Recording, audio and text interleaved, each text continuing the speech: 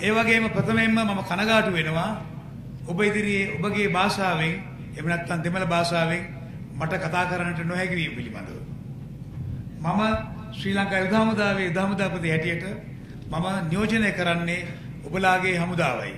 ඒ හමුදාවේ හමුදාපති වුවත් මට ඔබගේ භාෂාවෙන් කතා කිරීමට නොහැකි වීම මට තිබෙන අඩුපාඩුවක්.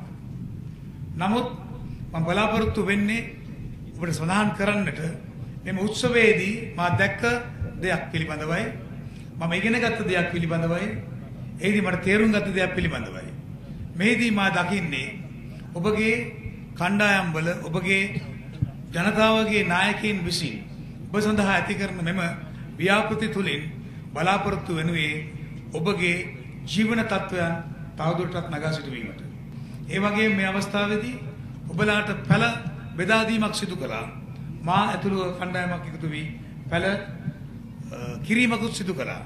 එයින් බලාපොරොත්තු වෙන්නේ අපටත් වඩා අපගේ මතු අනාගත පරපුරට ඔවුන්ගේ ජීවිත සුඛිත මුඛිත කිරීම සඳහා එම පැලවලින් ලැබෙන්නා වූ වාතය සුවඳ ශක්තිය ආහාරය සෑම දෙයක්ම මේ ජන කොටස් වල අභිවෘද්ධිය තකා පාවිච්චි කිරීම සඳහා මා මේ අවස්ථාවේදී බලාපොරොත්තු වෙනවා මේ වැඩිහිටි ජනතාවට මතක් කිරීමක් කරන්නට මේ පැල ඉඳවීම තුළින් අප අපගේ ඉදිරි પરම්පරාවලට එහෙම නැත්නම් කුඩා දරුවන්ට අධ්‍යයනයක් අධ්‍යාපනයක් ලබා දිය යුතුයි.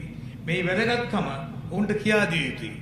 මේ රටේ මිලියන 22ක ජනතාවක් ජීවත් වෙනවා.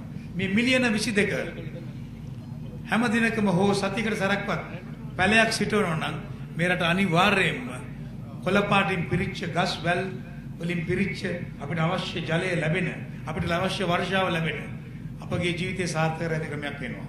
ඒ සඳහා ශ්‍රී ලංකා යුද හමුදාව පෙරමුණ අරගෙන තිබෙනවා ආදර්ශයෙන් මේ සිදු කරන්නට.